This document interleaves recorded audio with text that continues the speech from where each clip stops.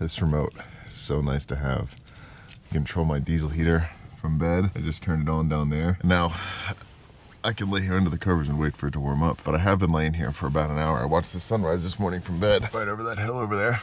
We got kind of a view of the water from from bed over here but we're waking up early today because we have got a long drive ahead of us because we have to make it all the way to albuquerque and for anyone wondering what the uh, temperature is it's 41 degrees fahrenheit which is 5 degrees celsius it's time to get up and get out of here because as i said we have to drive all the way to albuquerque New Mexico today, which is about five hours away. And the reason that we have to drive all the way to Albuquerque is because there was a hiccup with the shipment of my mini truck. So for those of you guys who don't know, my name is Ryan. I live in the back of my self-converted camper van. Right now we are on a road trip across the country at Lake Meredith in Texas where we slept last night. And I'm on a road trip to San Diego where I'm gonna be building out a mini truck into a camper, but I had to ship the mini truck from my parents' house in Maryland to where I'm living in San Diego. And there was something that was wrong, so I gotta fly home for a few days to go get it shipped and then fly back here and then continue my drive to San Diego to meet the truck. That is what we're doing today. And I think we're probably just gonna stealth camp in the airport parking lot tonight. And man, this heater feels absolutely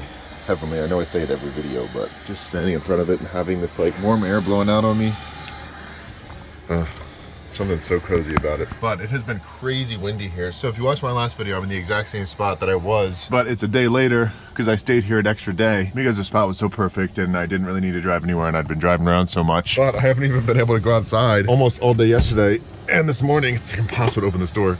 It's so windy. It creates like a suction on the van. It's just been so unbelievably windy out. It's not too bad right now. Last night, the whole van was shaking. It felt like there was a constant earthquake, but you can see some of the white caps on the, uh, like, oh, it's freezing cold too. Yeah, that's what I've been up to. So yesterday on my day off, I decided to make pancakes and eggs for breakfast. And I tried to make like one mega pancake that just filled up this entire pan and completely failed and it broke apart into a bunch of little tiny pieces when I tried to flip it. So that's what it became. I'm gonna reheat some of that up along with some eggs for breakfast today.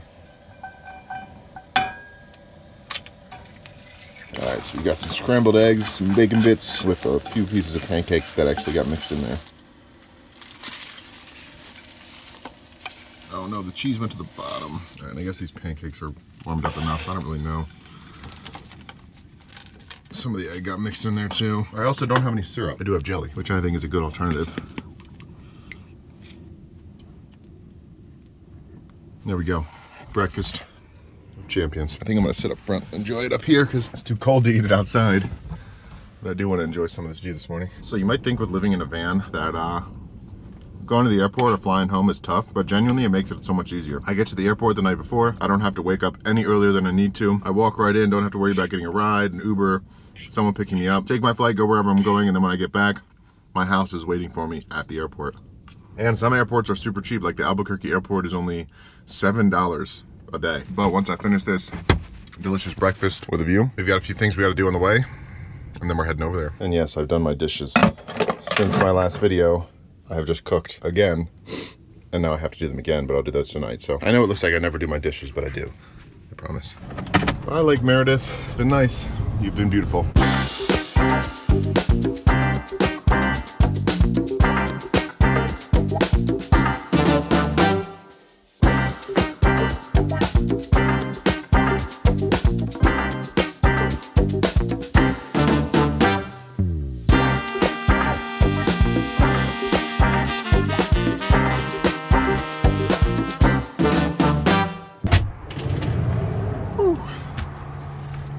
We have made it to Albuquerque.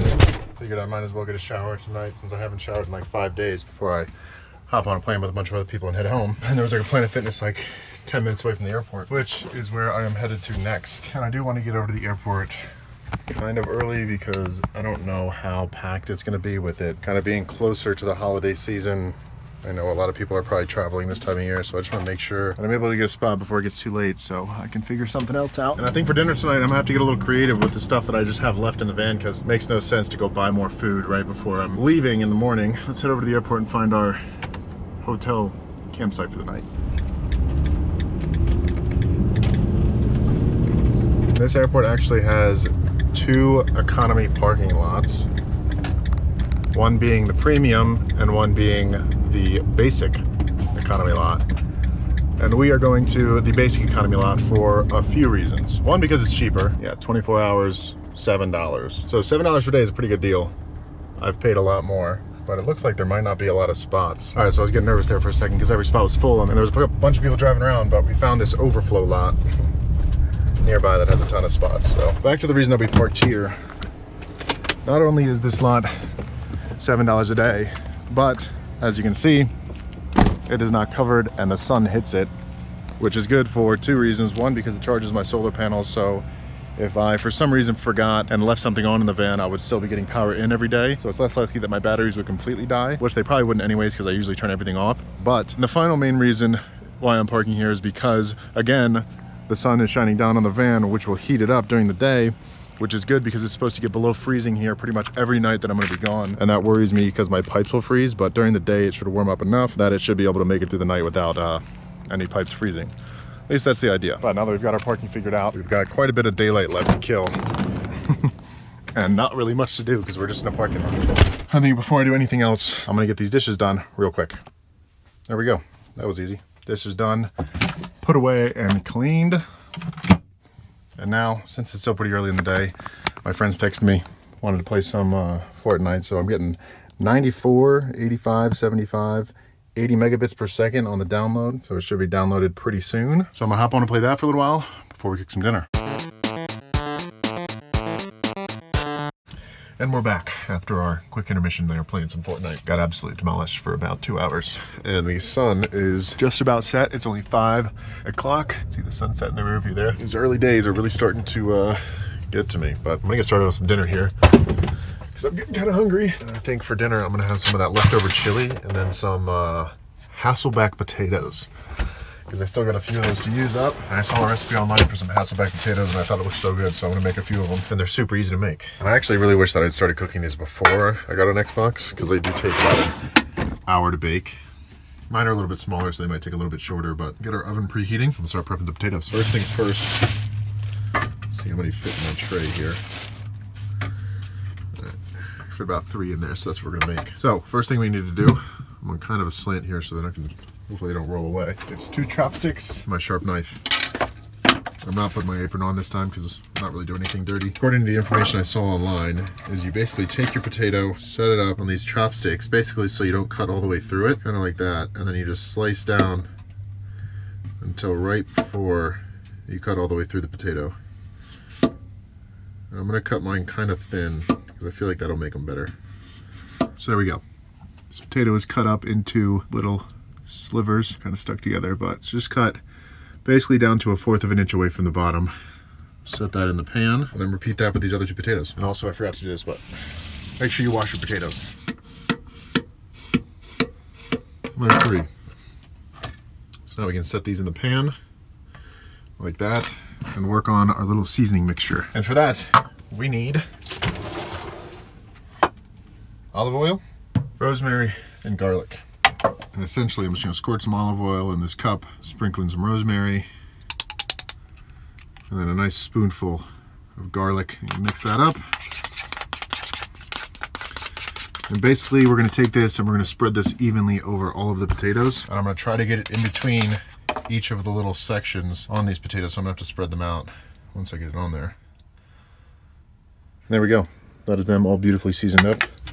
Pop the oven open, throw those in there, let those cook for right around 45 minutes. And while we wait for that, I'm gonna get my uh, stew started on reheating. So if you didn't watch my last video when I was in Texas, I made some Texas chili. Back here in the van, I have some left over, so I'm just gonna heat that up and have that for dinner as like my main course.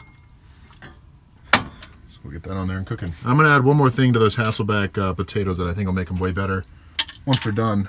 But while we wait for this chili to heat up and for those uh, potatoes to get cooked, I'm gonna go ahead and get myself packed for this fight tomorrow. If you guys have been following along on this whole trip, you'll know that I haven't been to the laundromat since I left. And my parents' washer and dryer is actually broken back home, so I can't use theirs.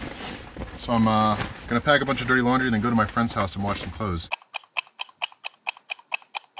Here we go. All packed up. Got my backpack, my carry-on, and my soup.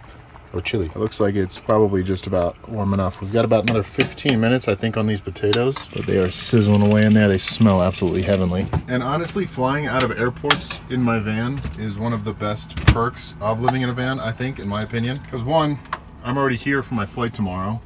And two, I get to maximize the amount of time that I get to sleep in because I'm already here and already packed and ready to go. So all I gotta do is wake up and walk over to the airport, which is especially nice for these early flights like I have tomorrow at 7 a.m. I've also got my uh, nice candlelit dinner tonight. Turn off these harsh overhead lights. I feel like you guys never get to, okay, all the lights are off. Never get to see the van in its like kind of ambient lighting mode which is what I call all of this. And if I had to redo it again, I'd probably use more warm LEDs as opposed to the harsh white overhead lights that I typically use. I do have one strip of warm LEDs over there in my bed area, but um, I actually rarely use those. I thought I would use those more, but I don't. Oh, we've got our appetizer, our chili already. So let's eat. And my hair looks absolutely crazy. But yeah, this is what I would call, I guess, and typically what I use for night mode in my van. So once the sun goes down and I'm not filming, I'll turn off those uh, bright overhead lights and kind of just have all these lower lights on so I can help myself get to sleep without staring into those bright white lights. Anyways, cheers. didn't burn my tongue this time. And it's honestly probably getting around that time where I'm gonna start needing to uh, think about changing out the filter for my water because it's been about two years and I think those things are good for two years. But then again, I don't really filter a lot of water through it. So mine will probably last a little bit longer than a standard one would. But anyways, this chili is just as good the second night. It's like the perfect level of spiciness. It's not too spicy where it's like overwhelming, but just spicy enough to give it that spicy flavor. And our potatoes are sizzling away. I can hear them while I'm sitting. We're probably gonna be done in about five minutes. Let me pull them out and check them. Yeah, maybe like four or five more minutes and those will be good to go. I do need to add one more thing to, this is like creepy. It's like I'm telling a campfire story. I do need to add one more thing to these potatoes, and this is gonna be kind of a process to do. But basically, I'm gonna peel some of these layers back on these potatoes and fill them up with some cheese. Ow, it's so hot. Turn the lights on for another minute. So this is cheddar cheese, not American. At least that is what it says. But it really tastes like American. It says sharp cheddar. Just take a little piece of this, stick it in between as many of these layers as I can, which is gonna take a little bit, so enjoy this time lapse of me doing that. There we go. They don't look as good as they did when I started, but I'm hoping once the cheese gets all melty after I put these back in here for another five minutes, that they will look a little bit better. Cheese idea looked a little bit better in my head. Maybe if I hadn't used uh, like the cheese slices and got actual sliced cheddar cheese, they would look better. But yeah, not the prettiest looking thing. Hopefully I can scoop these out without doing too much damage to them. Oh my gosh. Oh, that one's destroyed. Oh my gosh. Oh yeah. That one looks good. We got one successful removal. Back to our lovely candlelight dinner. The cheese on the inside melted nicely. It's just the cheese on the top that didn't melt very well. It's probably gonna be so hot.